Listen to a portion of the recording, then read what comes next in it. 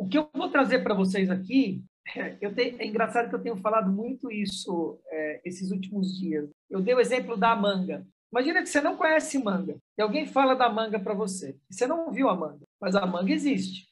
Aí você vai se aprofundar e vai saber que a manga é isso, que tem esse tipo de manga, que ela tem fiapo, outras não tem fiapo, tem um caroção, tem não sei o que. Você vai ter todas as informações a respeito da manga. E aquilo te agrada e você se aprofunda em relação à manga. Então, conheceu lá toda. Bom, sei.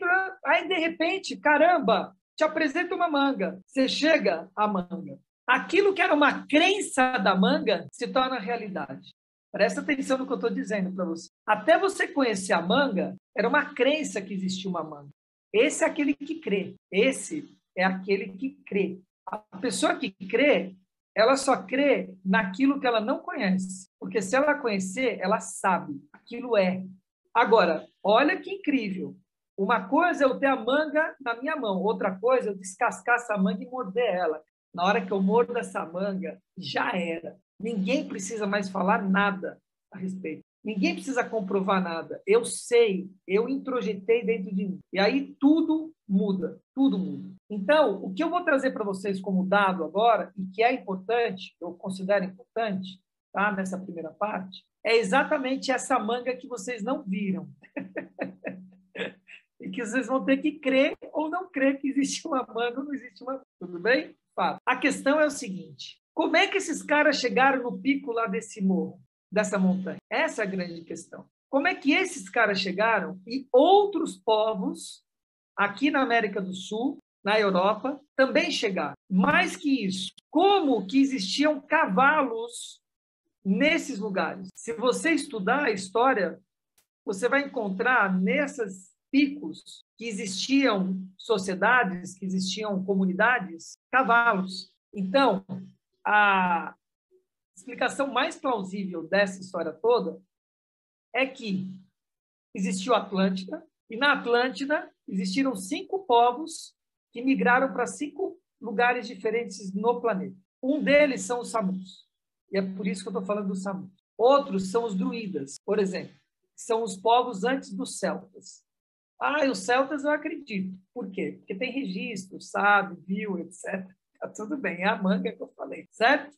Não importa. O que importa é, existiu uma faixa etária, uma faixa etária não, uma faixa de tempo e espaço no nosso planeta em que coisas aconteceram em regiões diferentes, em que você tecnicamente não sabe como aconteceu no mesmo período. Descoberta do zero, por exemplo, e outras coisas. O fato é que uma explicação plausível que existe é que esses cinco povos tinham a mesma educação e o mesmo conhecimento. E um desses povos eram os Samus, que se tornaram sufis e assim por diante. Tá? E aí derivou o islamismo e uma série de coisas aí a partir daí. Tá? Então, quero que vocês entendam aqui uma outra coisa que é importante né, dizer. Aqueles que não me conhecem com profundidade. Eu não comungo de nenhuma religião e comungo de todas ao mesmo tempo.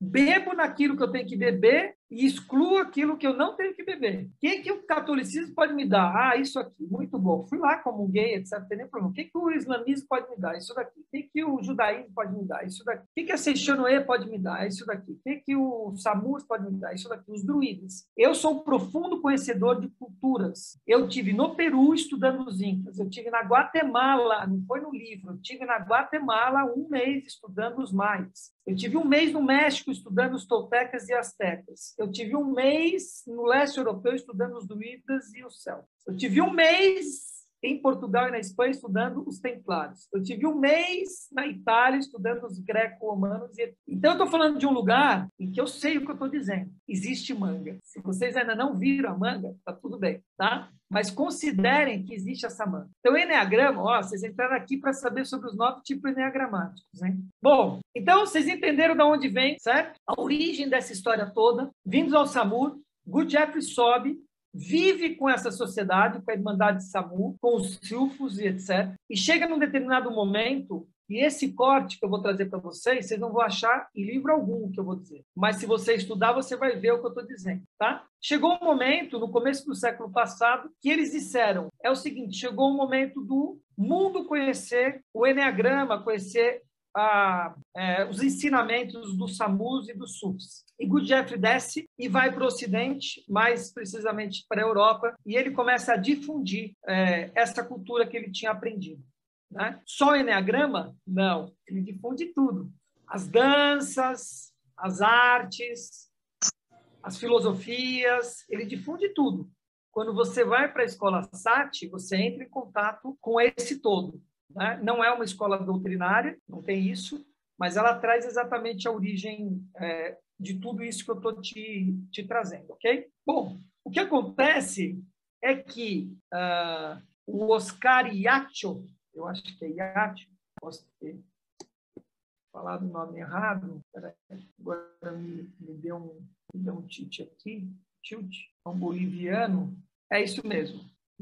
Oscar Iatio, né, que é um boliviano, ele pegou o que ele aprendeu com o Gurdjieff e ele compreendeu que ele precisava deixar aquilo de uma forma palatável e até vendável. Que aquilo que eles traziam como a sociedade Samur e Sufi, aquilo não era vendável, aquilo não era algo que podia chegar a toda a sociedade. Quem trabalha com autoconhecimento de uma forma mais é, precisa, assim, mais profunda, eu quero dizer, sabe que é isso mesmo.